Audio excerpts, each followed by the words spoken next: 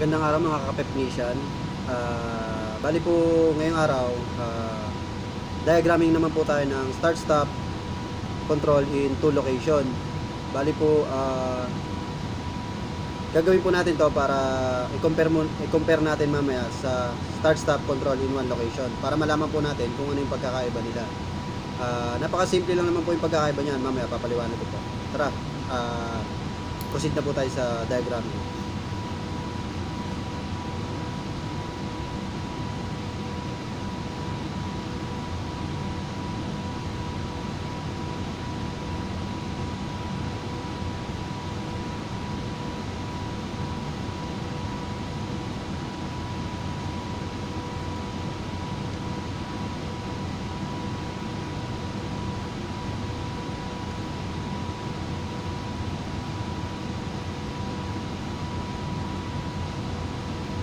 Ito yung ano nyo, holding ko, ah, contactor, OLR.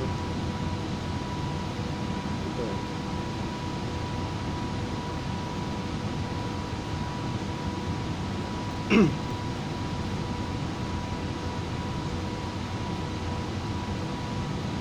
Bali, ang ginagamit po pala muna natin dito ngayon is yung ano, DOL, direct online na ano, na connection sa motor.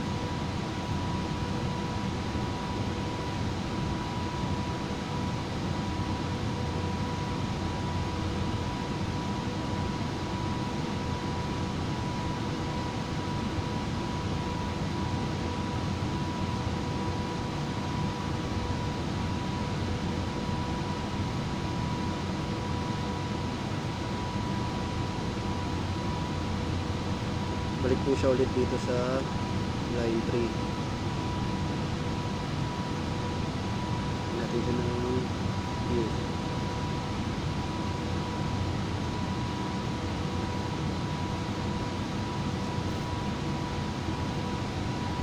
Then dito.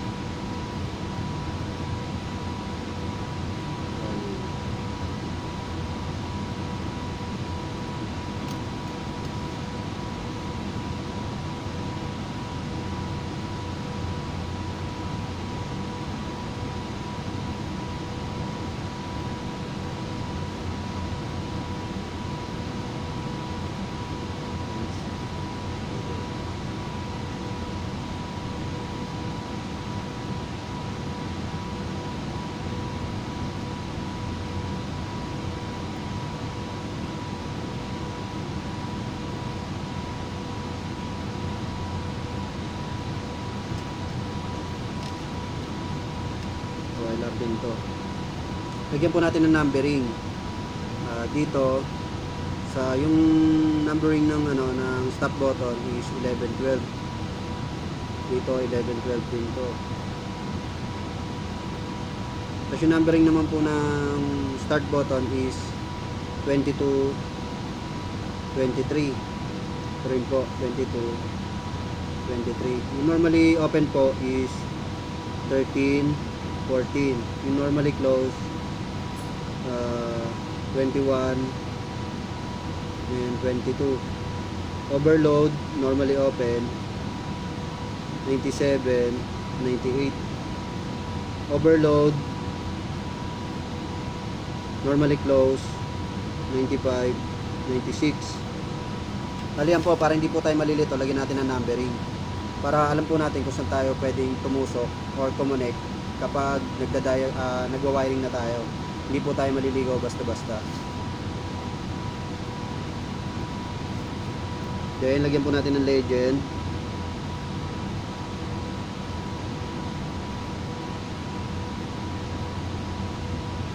Fuse. Then,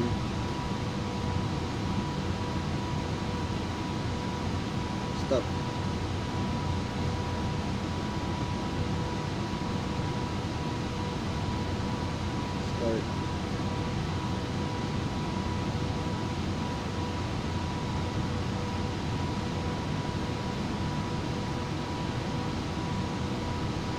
Normally open.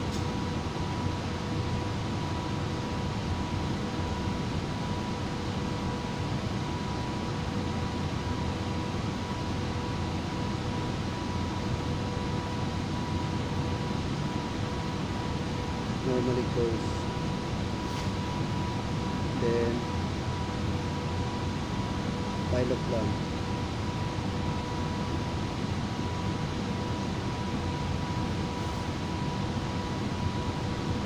CD, circuit breaker.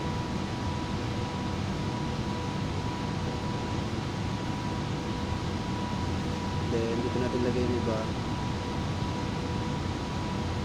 Yung tatlong ganito,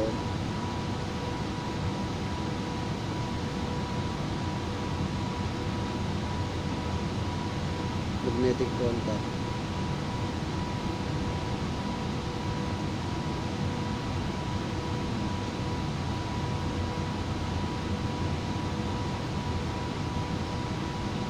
Yung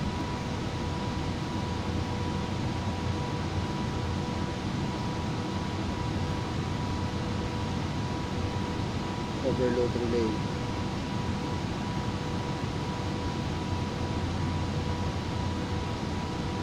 Ito po, motor na natin to. And then, dagdagan natin ng HC. Ito yung holding coil. Holding coil niya. Bali, yan po. Ah, initial position niya is naka-idle siya.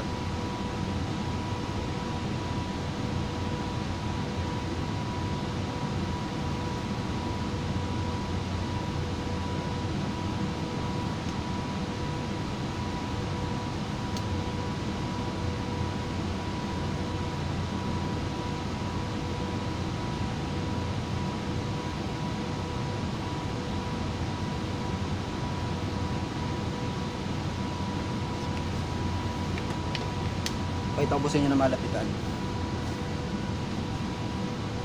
Bale ito po, ah, start stop control in two location.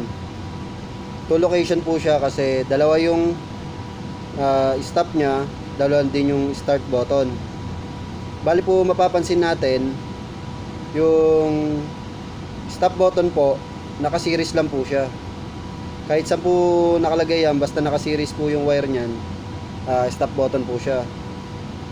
Doon yung ano naman po, yung yung start button niya po ay nakaparallel. Lagi pong nakaparallel yung start button. Kahit saan po, kahit gaano po kalayo yan, basta nakaparallel, ah, okay po yan. Yan po ang connection. Lagi po natin tatandaan, ang stop button, naka-series, ang start button, nakaparallel. Nakaparallel siya sa normally close, ah, normally open ng au- auxiliary ng magnetic contactor. Ah, okay po. Bali, gawin po natin to, execute natin sa ah, sa trainer para tingnan natin kung ah, ano yung magiging result at makita natin kung paano gumana. Salamat po.